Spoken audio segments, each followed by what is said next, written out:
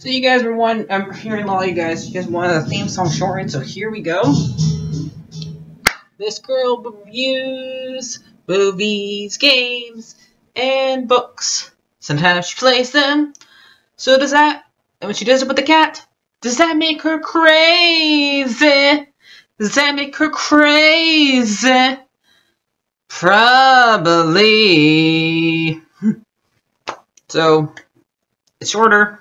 There you go. Crazy Cat Lady or Martha Butler does not own the any trailers or pictures. I use them under fair use, educational, for and enter entertainment purpose. Hi everyone, Martha here. So we got my last Cinderella movie I have to review. And after watching all the molten roll, happy to move on to something else. Because there is this thing is way too much. but I did it for you guys since you guys came up to 330 subscribers. Um, remember you want me to do um, Dumbo's stuff, or anybody else, you have to get me up to 400. Otherwise, I pick. I'm I'm going to go back to doing um just movies I haven't seen yet. Or I haven't seen in a while.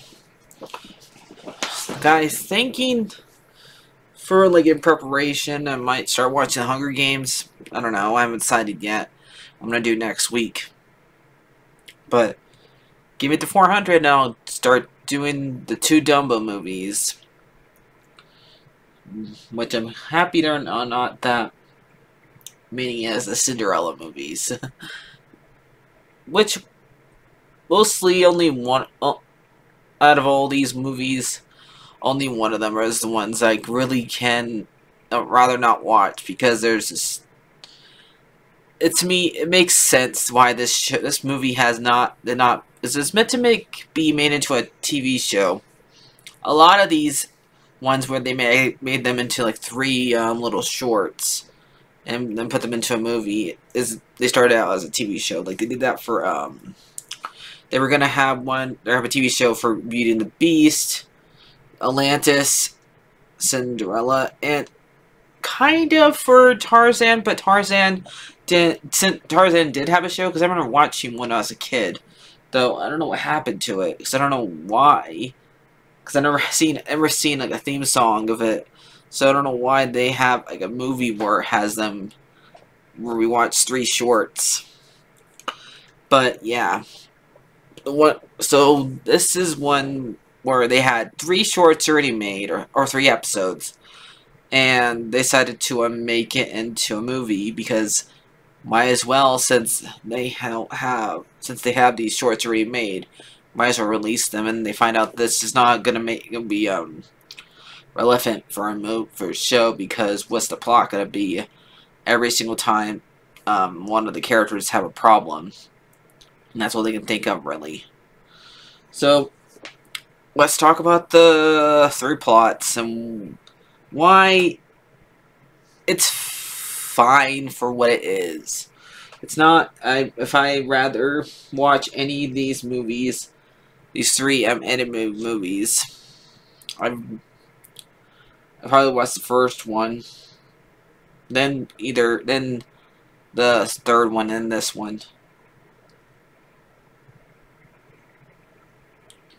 But this one is fine for what it is. It's just the the the fairy godmother and the mice telling stories to each other about events they already um have. So they already know these stories, okay? So they don't really tell anything different because um, all of them are things that they witnessed and they're telling to each other. It's kind of like one of those episodes of um of shows where they retell things that they already know and they're just re um, reliving them. So yeah. So I think only time you should do this is when it's somebody who wasn't there. But all of them were there, so yeah. The first one has to do with um, Cinderella's first day of being the princess. I guess her first day, uh, her honeymoon does not count So, and she has to land another, they pin another ball or something like that, and she's only allowed to invite dukes and stuff like that. But she wants to invite her her friends, all the subjects, to the, the thing, and she just wants to wear right wear her dress and do things her way, while the um the main princess in waiting, the the, the main um lady in waiting wants to do it her way and have stupid puns, prunes for dinner or for dessert. And so like that. So they make it, and um, the king and the prince are not there, which really, really would have been good. make prince had more development than he got in the first movie. No, you make him go away. And it's still um, Eric from from Little Mermaid playing him. It's the same exact people that played her, played all these characters in the second, in the third movie. That's why they had them return for the third movie. Because, um, yeah, this one was made before. This, movie, this one came out in 2002. Can't believe it's already that old. And it's already tw 22 years old.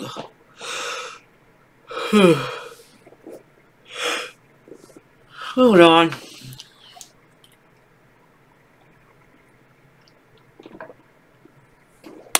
And she may so and she does it her way and opens up the curtain. See, them wants a plot there. That's why this one's definitely. If any of them needs that actually was warrant for a short, it's probably the last one.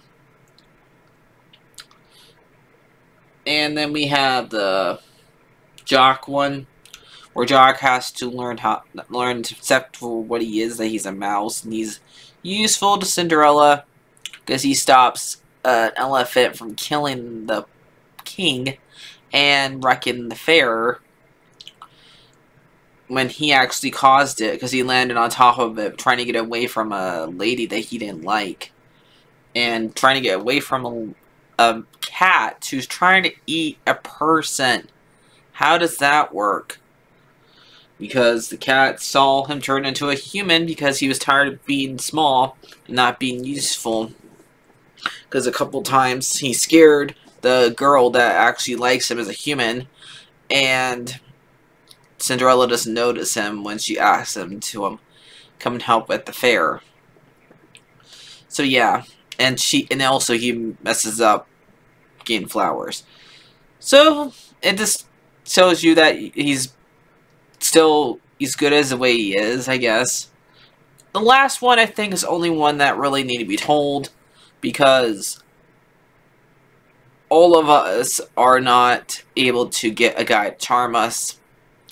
So having um, Anastasia, who is not exactly as good looking as Cinderella, having a hard time getting um, the baker to like her and look good for him and stuff like that is good. And telling Tremaine, his her mom, off for once say, I'm gonna go with him, whether you like it or not, Tremaine. And good for Anastasia. I'm proud of her. Mm. And I like the fact that she has a hard time smiling. A lot of girls have a lot of time smiling, and so it's very, very pretty. It's very, very sweet that even though that Cinderella was treated badly by Anastasia, it was not really Anastasia's fault or, or Drizella's. Her mom coached when it, their mom coached them into doing it. They didn't really care about those um things that because they were in a formal way. But if if um Tremaine did not point out that she was wearing their stuff, they would have not ripped up her dress. They still did something wrong by ripping up her dress, but it wasn't their fault. That was how they were raised. And so she eventually, those she learned to appreciate her stepsister because her stepsister was actually there for her and helped her be like her wing lady and help her get help her get a guy. So yeah. and and let and let her stand up to help her stand up to her mom. So yeah. And I was only one I think out of all the three of them that's probably the best. Because I'm hearing somebody tell Tremaine off is good. So yeah.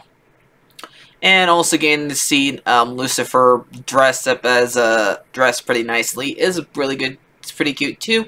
Even though I really think that the cat's name Pom Pom does not sound as threatening as Lucifer. If he's supposed, she's supposed to be a female Lucifer, make her make her name as uh, menacing as Lucifer is, because he's named after the devil. Make her name be as, as menacing. I don't know, like um, uh. Hold on, I, I, if I can think of Lilith. Do Lilith. Okay? so yeah, do that one. I know I know. I don't know. I doubt they would actually do it, but they did Lucifer. Why not? But Pom this sounds not as men. This doesn't sound scary as and so I guess because since she's really a, a cat that lives at the palace, it's not going to sound as menacing. and they're not. She's not really um, the bad guy's cat. She just happens to want mice. So I guess not. Doesn't really matter. So I probably get this one like only one of them is worth watching. So I'm probably going to give this one like a 6 out of 10. All the all the other ones are kind of the other two are kind of boring for me, but the last one is worth watching just to show the spite to um, Tremaine. so yeah. So I'll see you guys late. So let's talk about um, the actor since I already mentioned it, but for people who didn't watch the last one, we got Jennifer Hale who played Cinderella. We got Terry Teresa um, McNally who played Anastasia.